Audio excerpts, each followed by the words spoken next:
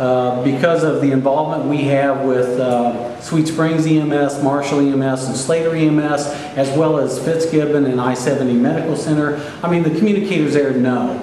We teach our members that if they have a medical or traumatic emergency, the first thing they need to do is call 911, but then they also need to indicate to the communicator that they're an Air Evac member, if they have a chance to do that. Um, so that hopefully that if that occurs, let's say someone here in this room has a heart attack, uh, and we call 911 and we say, you know, Lewis is an Air Evac member, then they're going to respond Air Evac here to Sweet Springs. Uh, the same thing is true if the patient ends up, if Lewis ends up at I-70 Medical Center, at Bothwell, or at Fitzgibbon, and needs to be flown to another facility for further advanced care, and they know that that, uh, that individual is a member, then they will call Air Evac. You have a medical traumatic emergency here in Sweet Springs, or at I-70, or you're at Fitzgibbon, and you need an aircraft, you need an aircraft. And if you're an Air Evac member, and you get another aircraft, then your membership does not apply. So basically, you're asking us to endorse your contract.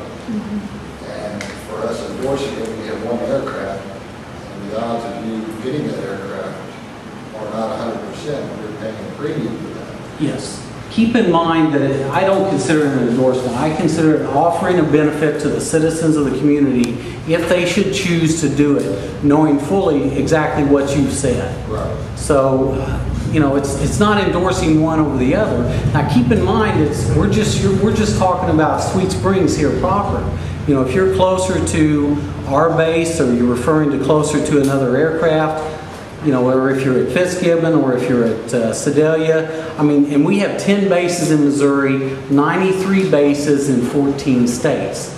And if you're a member of Air Evac here in Sweet Springs, you're a member not only with Air Evac proper that has 93 bases in 14 states, but you're also a member in, um, I think it's 24 states with now 137 helicopter bases because we partner with MedTrans and EagleMed, two other air medical programs. So it's not just a benefit for here in Sweet Springs. And I understand what you're saying, that, that you need the closest resource, and, and you really do. The difference between the other aircraft that's located here and the flight time between ours and Sedalia is only about three minutes as far as air from launch to arrival here in Sweet Springs.